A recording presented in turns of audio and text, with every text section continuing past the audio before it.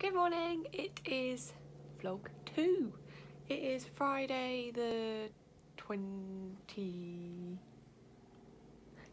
of January today. Um, it's Ellie's interview today so um, we are just chilling at home until then and I think we're going to head over to Godrevy slash Gwithian. Patrick and I call it different things. Um, because I'm going to show her the surf beach. She's really into surfing, so she's going to show her that. And we're also going to go look at the seals over in the protected cove on the other side. And we're going to go to Harbour Lights in Falmouth for dinner tonight because it's the best fish and chip shop ever. Because I'm using my iPhone, I've not done like importing, exporting videos before and I'm finding it quite difficult. I've actually had to YouTube how to do it um, because it's not very simple. Apple have not made this an easy job. Um, so they're currently exporting so I can import them into Premiere Pro. Um, so I thought I'd start the weekly vlog whilst we're here.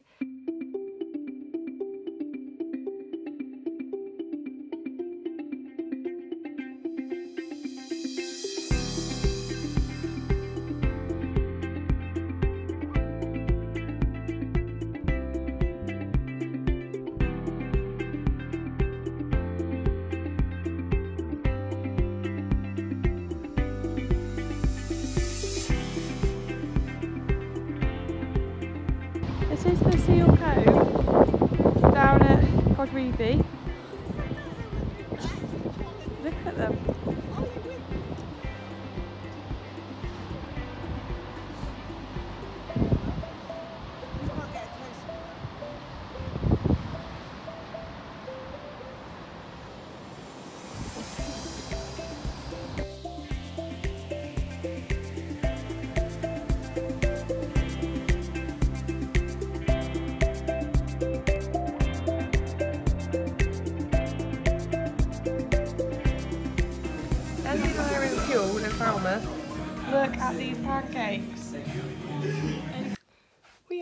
Heading off to Kennall Vale. We're going to head over there. They've got a lot of waterfalls and things, so I'll show you some footage from there. Kennall Vale, and then we're going to head over to Tiddy Woods. Um, so two little short stops. Yeah, 20 past 12. So um, we're both absolutely knackered. So we're going to go do that, then come home and have a probably an early evening because we're very tired. We've done a lot in the last few days and I've got to edit this week's vlog tonight so I started yesterday. It's not going to it's going well so fingers crossed it will go well. So I will upload that tonight ready to go live tomorrow. This is part of Kennall Vale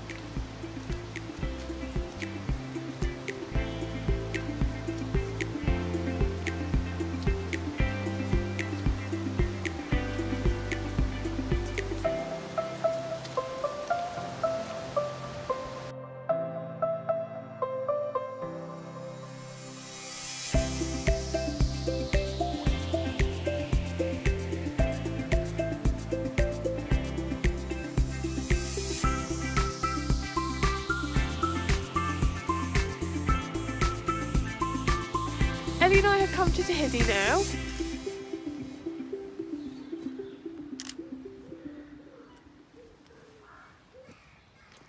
A sudden fog has literally descended upon Cornwall. So if you see out over there, it's so foggy. Good morning. It is Sunday and it's Ellie's last full day in Cornwall. So today we are going to head off to St Ives and have a little look around there. Um, I think we're pretty much done with the coast. Obviously St Ives is on the coast but it's more of a touristy spot so we're going to head off to there. She said it's really warm in Cornwall today so short sleeves. Obviously we're wearing a jumper, it's, it's January. Um, so I put my first vlog live this morning so it's a bit nerve wracking because I don't know how it will be taken.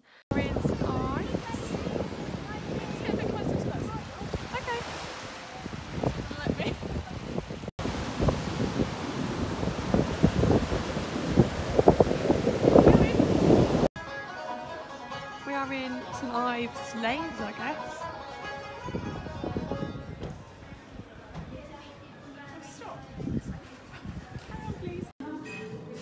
New York panini. One with what's that salami? Chorizo. Chorizo. Ellie and I are back from St Ives now. We had a really lovely lunch. Um, I showed all of the beaches like Porthmeor Beach and the harbour and stuff and went through all the little shops. Um, so we've had a really lovely afternoon. Uh, so we're back now.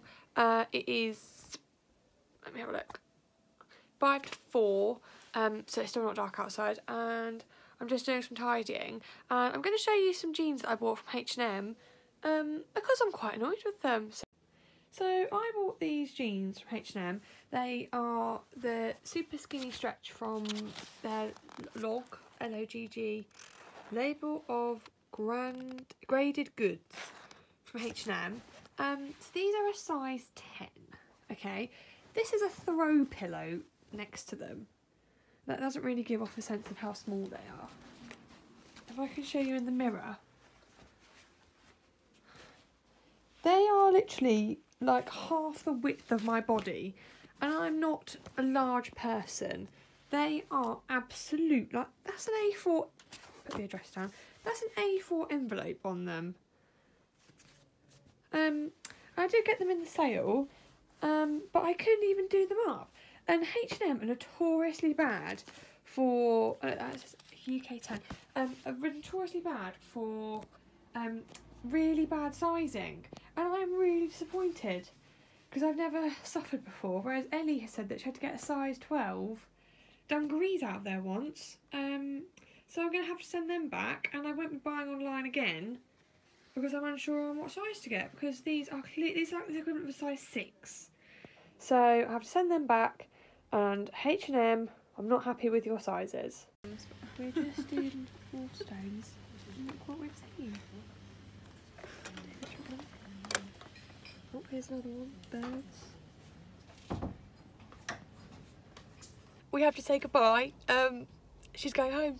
So I'm on my own for the next few days. Bye. I have just refilmed filmed this clip before and my grandpa gave me some lovely feedback on my video and he said that I said um a lot and I didn't realise that and I just watched that clip back and I was saying um and if anybody's watched How I Met Your Mother when Robin does her Metro News thing, they have a game where they have a drinking game where everybody says but um they take a shot and I do not want this video to turn into a but um shot game. So let's try this again. I've just read an article in BBC Wildlife Magazine Award um award magazine for 2018 and I've just been reading about the 20, the A14 upgrade between Huntingdon and, and Cambridge and it is the Highway Agency's biggest ever project at 1.5 billion pounds to do and I was just reading about I can't find it now about the Pat Howard has been putting things in place so that uh oh see um let me just find the article and then I can tell you about it they have basically been putting things in place to create more wildlife hotspots, well hotspots areas. So they have introduced 271 hectares of wildlife habitats. Uh, for every tree that they cut down, they're planting another two, which I mean, there isn't really much excuse for, for getting rid of trees in my my eyes, but they're trying to rectify the situation. They're planting two for every one they cut down, so we're going to end up with more trees than we started off with. They have constructed 13 new lakes, and within these lakes, they have created well, maybe it's not created within the lakes, but they've created these um, these uh, ditches for voles, which I'm really happy about, water voles. Um, they have also installed 200 bat boxes across the 271 hectares of wildlife area, and they've also built it built 34 wildlife bridges. And I mean, the A14 is pretty quick, so I wouldn't want anyone, any wildlife going over that. But 34 wildlife bridges is really good. So this article also talks about uh, the, the like introduction of nightingales in an old Ministry of Defence area, the old Ministry of Defence ground, I think you call it. Um, and they had 85 nightingales roosting there, which is actually 1.5% of the entire UK's population, which I just think is incredible. So if you would like to go and read this article, it's in this month's Wildlife magazine, although by the time this will go up, will be in February, so they might have released February's. But if anybody would like to read this, when I read them, I don't keep them, I just throw them away. If anybody would like this, I will happily post out anybody that would like it.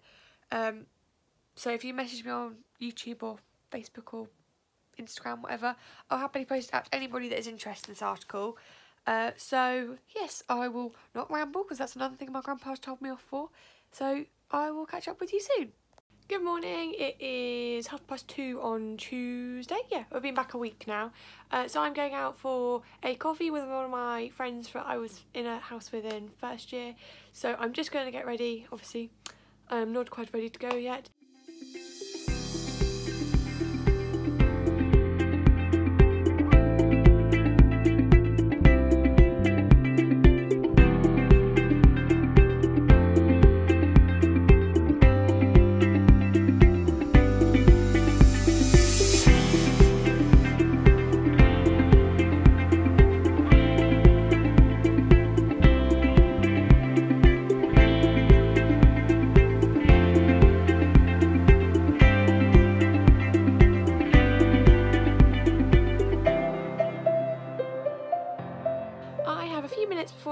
Is due to well due to meet her in town.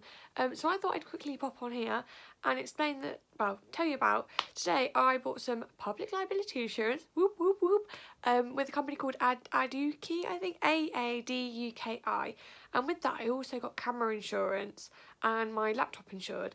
And I just wanted to come and recommend them because I just spoke to I was a bit confused by the different terms and stuff on their website. So I rang them up and I spoke to a really lovely guy called Paul at customer services and he was fantastic. Like he explained everything to me. He explained um, all about theft and accidental damage um, all of the camera terms all the liability terms that you don't really understand. And he gave me two quotes for public liability and public liability plus um, what's it called? Camera insurance. So I ended up going for camera insurance and I explained to him I'm going to America for three months in the summer. And on top of that, I was like, oh, could I have another quote for in a public liability insurance and camera insurance plus worldwide unlimited insurance? And I don't know whether they did me a deal or whatever, but they gave it to me at the exact same price as 60 days, which for me that won it. A company that is like willing to take a little bit off your price just to have a good customer has really, I'm really impressed with that sort of customer service. So I had a really, really good experience. So I thought I'd come on here, tell you about them. If you need some insurance, please go check them out. Um, I was just really happy with the customer service I got. It took me literally eight or seven minutes to do in total. Um, and it, I thought it was a good price. So yeah, I just thought I'd come and tell you my recommendation. Good afternoon guys, it is Wednesday afternoon? Yeah, Wednesday afternoon. I've just got back from uni. I went up to chat to one of the tech ladies up there she helped me with some editing.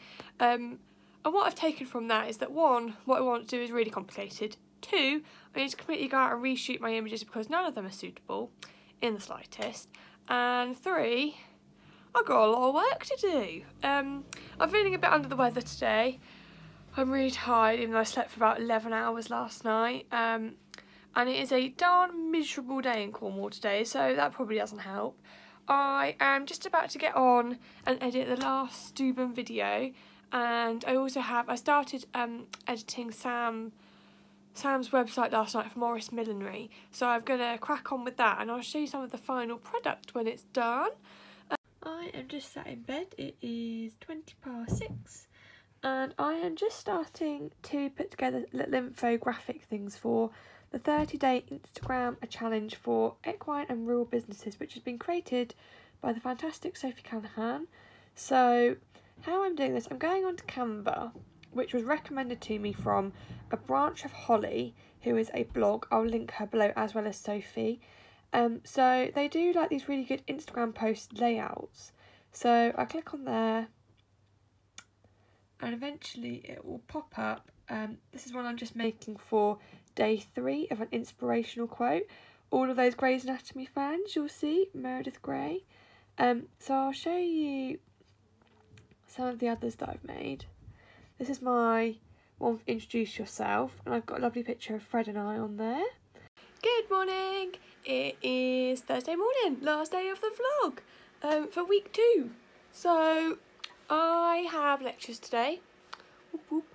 I have my conservation slash dissertation lecture and professional work placement is the other one. Um, so I'm going to head up to campus soon. I've got about 20 minutes where I've got to leave. Um, I've got a bit of a to-do list today, so I've got a couple of hours in between both lectures, so I'm going to stay up at campus um, and crack on with some work. Sunny today! Yay, I love Cornwall when it's like this.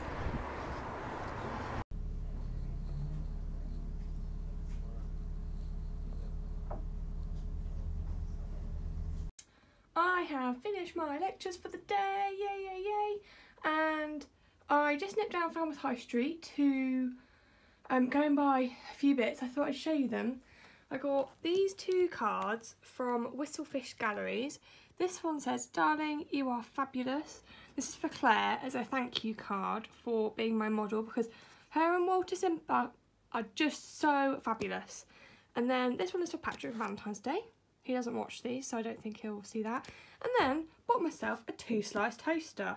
We have a toaster in our house upstairs. Up there we have the kitchen, but we live with four boys and they have the kitchen and Jess and I have our little outside bit outside and we don't have a toaster and I have a four pack of bagels and since last Tuesday I've eaten one um, because we don't have a toaster and I don't want to go upstairs to use it. So I bought this little cheapy one their functional range from Wilko. It was £6.